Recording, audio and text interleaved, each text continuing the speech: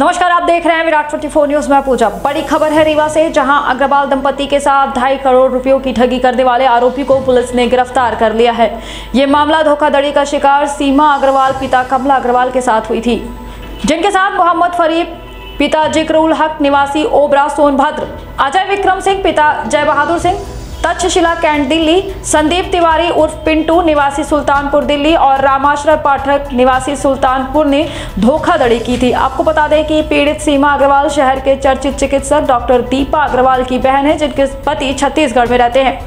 जिनके साथ आरोपियों ने धोखाधड़ी की थी, जिसकी शिकायत अमैया थाने में दर्ज कराई गई थी। फ़िलहाल पुलिस पकड़े गए आरोपियों से पूछताछ कर रही है। आपको बता दें कि बड़ी खबर रीवा से है जहाँ अग्रवाल दंपति के साथ ढाई करोड़ रुपयों की ठगी के मामले में पुलिस ने आरोपियों को गिरफ़्तार कर लिया है। आपको बता दें कि सीमा अग्रवाल जो कि शहर के चर्चित डॉक्टर दीपक अग्रवाल की बहन है उनके साथ आरोपियों ने धोखाधड़ी की जिसकी शिकायत अमैया थाने में दर्ज कराई गई थी। वहीं पुलिस आप आरोपियों से पूछताछ कर रही है। क्या है मामला? ये एक फरियादी हैं सीमा अग्रवाल। उन्होंने शिकायत की थी अमैया थाने में। कि मुझसे मेरे परिवारजनों से कुछ लोग हैं जिन्होंने मेरे पति, मेरे भाई की मदद करने के नाम पर से ढाई करोड़ रुपये की ठगी कर ली है।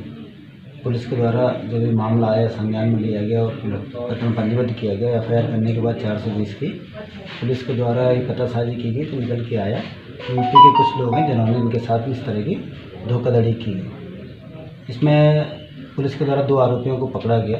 इसमें एक फरीद है जो ओबरा यूपी का रहने वाला और एक अजय सिंह है, जो सुल्तानपुर का रहने वाला है। इन दो लोगों को पकड़ के पुलिस के द्वारा रक्षा में लेकर इनसे पूछताछ की गई और इनके खाते से करीब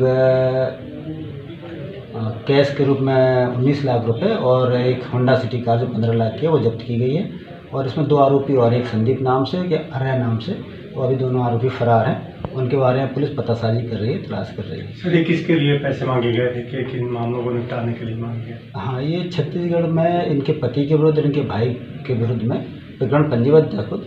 उस प्रकरण में मदद कराने के नाम से जेल में थे जमानत कराने के नाम से इनके द्वारा ये ठगी की गई थी पैसे लिए गए थे। इस कारण से ये प्रकरण दर्ज हुआ है। सर आरोपी क्या करते थे?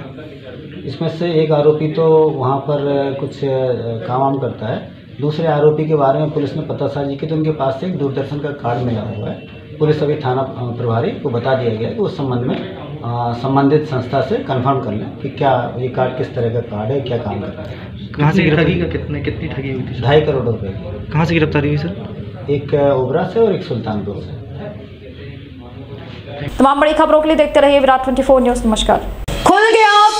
गया खुल गया। मारुति इंटीरियर एंड कंसल्टेंट प्रतिष्ठान खुल गया। जी हाँ आपके शहर रीवा में Maruti interior and consultant G S one zero eight Ashirwad plaza Dhekaha में खुल गया। हम सिर्फ़ घर नहीं बनाते, हम बनाते हैं आपके सपनों का घर। Complete furniture modular kitchen fall ceiling wallpaper, 3D design की सेवाएँ उपलब्ध। एक बार सेवा का अवसर ज़रूर प्रदान करें। Maruti interior and consultant Ashirwad plaza देखा रीवा।